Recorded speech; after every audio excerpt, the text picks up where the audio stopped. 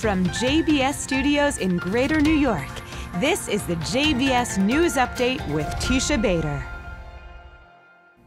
I'm Teisha Bader with the JBS News Update for Friday, June the 8th, 2018. Some 10,000 Palestinians took part in violent riots along the Gaza border fence today, burning tires and trying to damage the security fence, including a group of Palestinians who tried to pull down a section of the fence. Dozens of incendiary kites and balloons were also flown over the border fence, several of which sparked fires in Israeli territory. The IDF said rioters also threw grenades and pipe bombs at Israeli troops. The Army said that in accordance with IDF regulations, they were using riot dispersal methods and live fire when absolutely necessary.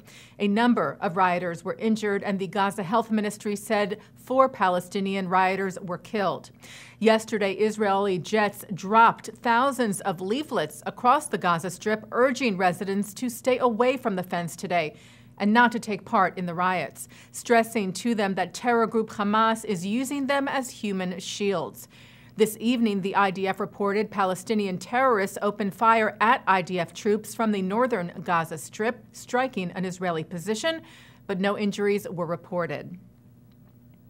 Israeli Prime Minister Benjamin Netanyahu returned to Israel yesterday after his visits this week to Germany, France, and Great Britain.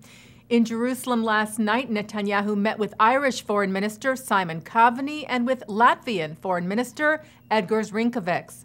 And a report today from Israel's news agency Hadashot that said Netanyahu will not meet with, with European Union Foreign Policy Chief Federica Mogherini this weekend. Mogherini was invited to attend the American Jewish Committee's Global Forum Conference in Jerusalem, which begins on Sunday and had reportedly asked to meet with the prime minister on the sidelines of the gathering. The report said that Netanyahu denied the request and said that Mogherini, who is presently in Jordan, then canceled her Israel trip altogether. A statement from Mogherini's office later today said we had looked into the possibility of expanding the visit to Jerusalem, where she was invited to speak at the American Jewish Committee, adding that for agenda reasons, it turned out that this was not possible. Her office added that it was important to talk about a number of important issues and that Mogherini is looking forward to returning to the region in the near future. There was no comment as of the taping of this news update from the Prime Minister's office on the Hadashot report. The EU and Israel are at odds on a number of issues, including the Iran deal and the move of the U.S. Embassy to Jerusalem.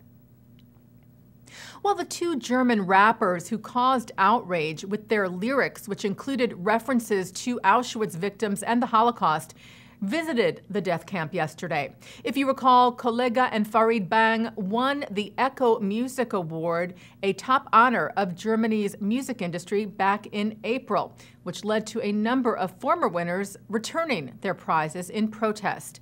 Industry organizers then canceled the award altogether. The rappers later apologized and were invited by the International Auschwitz Committee to visit and learn about the death camp. The organization's vice president, Christoph Heubner, who accompanied Kollegah and Farid on the trip, told German news media that the visit was a way of making amends. And it is also a gesture, he said, towards their young fans, showing that hatred, contempt for humanity, and anti Semitism have no place in art. Celebrity chef and food adventurer Anthony Bourdain has died. Bourdain, whose mother was Jewish, was in France when he was found unresponsive in his hotel room this morning. The cause of death is being reported as suicide. Bourdain visited Israel in 2013 to film his season premiere of Anthony Bourdain Parts Unknown in Jerusalem, also filming in the West Bank and Gaza. He was 61. The state of Georgia signed an agreement with the government of Israel yesterday to promote joint research.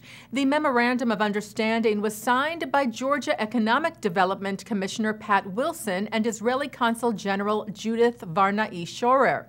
It will result in $2 million in grants for joint research and development projects between companies in Georgia and Israel, with funds coming from the Atlanta based power utility supplier Southern Company and the Israel Innovation Authority.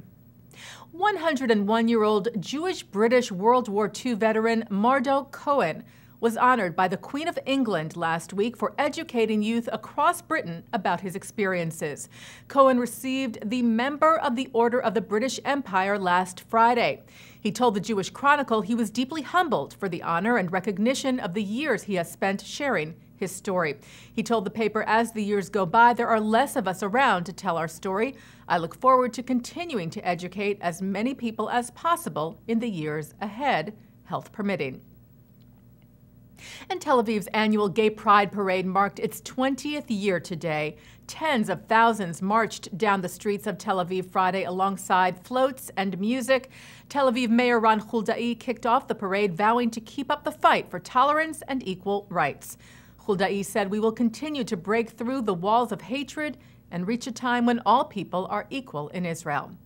And that's the JBS News Update for Friday, June the 8th, 2018. I'm Teisha Bader. Shabbat Shalom.